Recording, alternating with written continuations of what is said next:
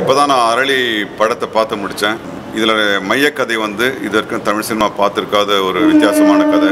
ஒரு நல்ல விறுவிறுப்போடு பல திருப்பங்களோடு இந்த கதையை புனைஞ்சிருக்காரு.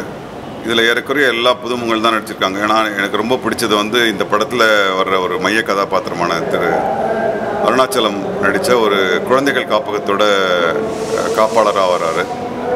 இன்னைக்கு எவ்வளோ புதுமுகங்கள் வராங்க பட் இந்த வயசில் வந்து இவர் எந்த ஒரு பயிற்சியும் இல்லாத இவ்வளோ ஒரு தெளிவான நடிப்பை கொடுக்குறாருன்னா உண்மையில் நான் அவரை பாராட்டணும். இதில் நடித்த எல்லாருமே நல்லா நடிச்சிருக்காங்க.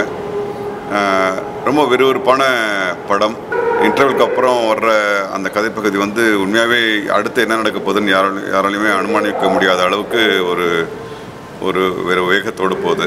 இந்த படத்தை தயாரித்து இயக்கிய திரு சுப்புராஜ் அவர்களுக்கும் அவருடைய குழுவினருக்கும் என்னுடைய வாழ்த்துக்கள்.